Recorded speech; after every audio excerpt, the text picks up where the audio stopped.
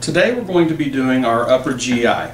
The routine views for an upper GI are a PA and RAO, but we are going to demonstrate also AP and LPO. This is commonly done especially for patients who have had gastric bypass surgery or patients who are just elderly or unable for some reason to not lay on their stomach.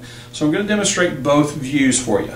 Now the technique for the PA and RAO is going to be 117 kV center cell and it will be for the RAO, uh, PA and the RAO and also for the AP and the LPO. Our film size will be an 11 by 14 and it will be lengthwise.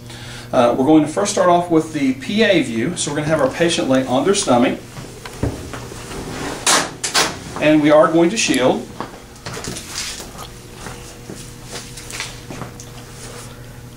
We are center locked to our, our table and centered to our film.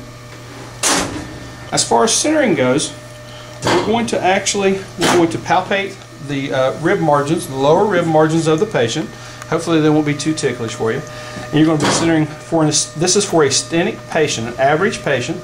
We're going to center there, and then we're going to palpate the spine, and we're going to be one about one to two inches, or I usually just take it and make it halfway between the spine and the outer margins uh, of the skin here. And that's a good placement there. Your collimation will be to the spine, and it will be to the skin margins. And then up and down will be to the IR borders. As far as marker placement goes, we will be using a left marker. We can put it out here to the side. So it's going to be visible but not obstructing anything. Our technique again is 117 kV center cell. And then this is going to be our PA uh, x-ray for uh, an upper GI. Now if you have a patient who is hypersthenic, a hypersthenic patient or a larger patient, the, change, the centering does change. So our centering is going to be from the point we are at, we're going to go approximately two inches higher and then we're going to go more toward the midline. And we'll have to adjust our collimations to incorporate all the way to the skin margins again. A hypersthenic patient's uh, stomach is a little more transverse, so we have to center a little bit more toward the midline. Now, if we have a uh, we have an asthenic patient, a patient who is really thin, then our centering changes also. So we're going to go back to where we were, which is at the rib margins, and about halfway in between uh, the spine and the outer margins. And from that point, we are going to center down about two inches. Okay, still uh, left of the spine, but we're also going to be a little lower. Their, their stomach is more a J-shaped uh, stomach. So then our collimation will again change somewhat, coming into the, the skin margins and again to the IR borders. Now as far as in this position, the patient, uh, as far as the air-barium relationship here, the air will be more in the fundus and the barium will be more in the body and the pylorus in the PA view. So our next position that we're going to do is the RAO position for the GI. We're going to have the patient, now the range of obliquity that we can use for this is dependent upon the size of the patient. The range is 40 to 70 degrees. The 70 degrees is more for a hypersthenic patient. The 40 degrees is more for a uh, just an average uh, patient, a sthenic patient.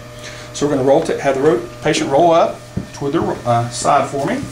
Okay, there we go. Just making sure that everything is straight down the body. Shoulder and hip are all straight. Now again, we're going to palpate the rib margins. And we're going to be at the level of the rib margins. And then we're going to palpate the spine. And I want to be halfway between the spine and the skin margins of the patient. Now my collimation again will be to the IR borders up and down, but I do want to have collimation all the way to the spine for sure. Now another thing that we're going to be doing on this here is we do still, even the patient, oh, the patient is in an RAO position, the stomach is referenced to the left side, so we will use our left marker. Okay, so I'm using the left marker, putting it in the light field here. Okay, and then uh, we're going again, making sure that the collimation has gone to the spine and it is to the IR borders. The technique stays the same, 117 uh, center cell. Now as far as what you see in this position, the barium is still going to be in the body in the pylorus, but in this position it also shows the duodenal bulb filled with barium. Very important part, part that you need to, to remember there. So this position is filled uh, with barium. All right, so next position I'm going to show you, we're going to go to the AP position for an upper GI. So I'm going to have the patient, if they would, lay on their back for me. We are still going to shield. Okay. Now, the one thing that people tend to get confused on this, and I want to stress to you, is make sure you know it's the left side. We've been working on this side over here. Well, she has changed and right laying on her back now the left side is on the opposite side. So when you're doing sound, I know it sounds sort of silly, you think, oh, there's no way I'll forget, but it is a common problem that students tend to do. So be very conscious of that. Now our centering for this is a little bit different. On this one here, what we're going to do is we're going to palpate the lower margin, the lower margins of the rib, and we also are going to palpate the xiphoid. So that point about halfway in between that is where we're going to center. Okay, again, side to side, our centering is going to be to the midline, to the outer margins. We're going to be about halfway. Okay, our collimation will include all the way back to the midline, and it will be to the skin margins on the side. And then I'm just going to use that to put my marker right here in the side so it's not obstructing and it's out of the way. Now, of course, once the patient rolled onto their back, the technique doesn't change. It's still going to be 117 kV center cell. But it does change our air-barium relationship. So now with the patient laying supine, the barium is now in the fundus and air is now in the body in the pylorus. Okay? So you need to remember that air-barium relationship, it does change. Okay?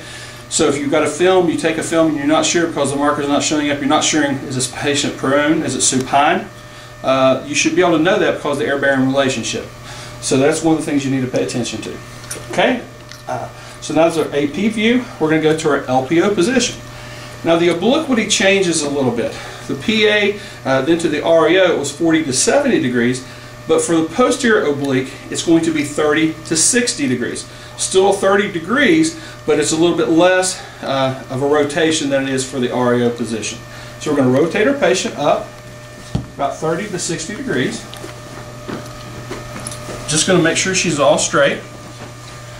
If you would, just lay your leg down just a tad bit. I'll make the shield back up here again. Now, as far as your centering goes. Uh, it's still going to be from the xiphoid to the lower rib margins, halfway. And then you're going to have to take and feel it's not really correct terminology, but you're going to basically find the new MSP of the patient in the obliquity and the skin margins, and you're going to center halfway in between that. The one thing students tend to do is they want to center too far out, so be conscious of that. Because of the position of the stomach, it's actually you want to make sure that it's not going to be clipped on the back side here. Oh, I'm sorry. There we go. So we're going to find the new MSP about halfway and then I've got collimation here to the skin margins. We'll go ahead and put our marker in there. And then I'm sure now I'm past the midline, so I do have the entire stomach on it. Now, one thing that happens in this position, again, is the duodenal bulb is in profile. But now it's going to be filled with air, not barium as it was in the RAO position. That's one of the things you will have to know which is going to be filled with. It is in profile in both positions, but the LPO position, it is filled with air. Okay? And these are going to be our PA, RAO, AP, and LPO views for an upper GI. Oh, one thing I forgot to mention. I do want to mention this. When we start the exam, uh, prior to actually giving the patient barium, we're going to give them some little crystals to drink, okay? And what they'll do, they'll sort of throw those back, and sometimes we'll give them a little bit of water, let them drink water with it. Uh, sometimes we'll have them drink the barium with it, different ways. And what it does, it helps put air in the stomach because they're wanting to see, this is, uh, they're wanting to see contrast, the air uh, and the relationship to the barium. Double. Okay, and this is, this is called a, a double upper GI series is what this is called. So this is going to be our upper GI views uh, for the stomach.